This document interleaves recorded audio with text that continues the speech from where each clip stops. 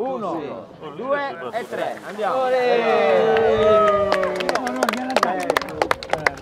Uno, quello che abbiamo già collegato, rappresenta la rete civica urbana del... Aspetta che sistemiamo.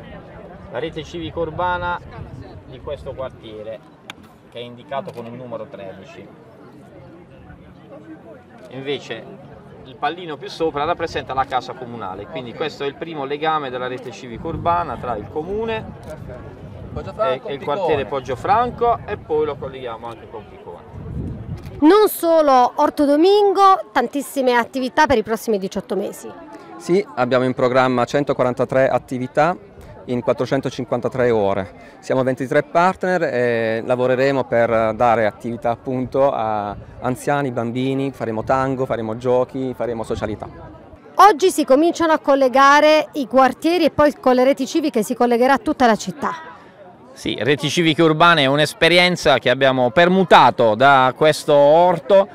Se guardate là sopra ci sono tanti balconi, è un super condominio, sono 320 nuclei familiari che anziché litigare un giorno decidono di scendere, di prendere un suolo comunale e di gestirlo in autonomia. È diventato un grande orto urbano, un piccolo parco, devo dire la verità, che si è realizzato da solo con eh, i condomini, con le associazioni di questo quartiere, le scuole, le parrocchie, hanno fatto una cosa straordinaria. Il comune ha saputo, credo, ascoltare guardare. E ha permutato questa esperienza, l'ha trasformata in reti civiche urbane. E adesso ci sono 12 reti civiche urbane, una per ogni quartiere della nostra città, dove associazioni, scuole, parrocchie, cooperative, imprenditori privati, supermercati, fondazioni bancarie si sono messe insieme e stanno animando dal basso la nostra città, sia dal punto di vista sociale che dal punto di vista culturale. Qualcuno prima ha detto che qui si coltivano sicuramente melanzane, patate, pomodori, ma si coltivano soprattutto relazioni umane, le relazioni tra le persone,